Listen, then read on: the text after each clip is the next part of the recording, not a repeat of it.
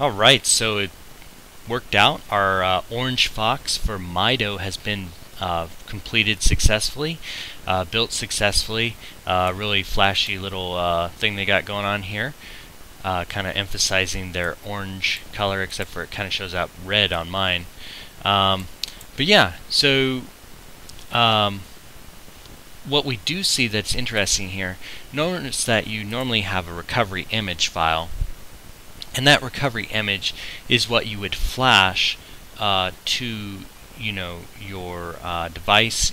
But you would need some sort of zip file to do that. And what's really great about Orange Fox is it actually built the zip file for you that you can flash um, you know using TeamWin Recovery Project or something like that. So pretty handy how that put that together for you.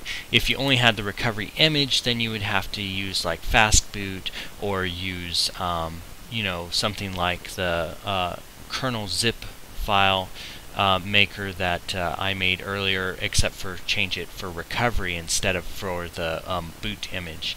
So uh, pretty neat and uh, hopefully you found that uh, fun and interesting and unfortunately I don't have a Mido phone so I can't test out this Orange Fox recovery.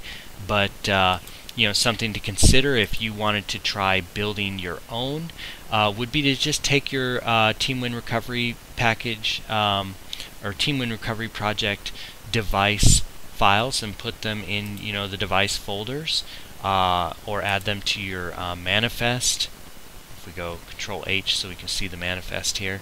Uh, repo local manifest and uh, add your own local manifest and put them in there. Or uh, just going ahead and uh, you know drag and drop them into the device folder and make sure you add you know your kernel and or um, you know vendor files if you need them uh, to uh, to build what you need to build. But yeah and then you could try uh, building uh, Orange Fox for yourself for uh, your device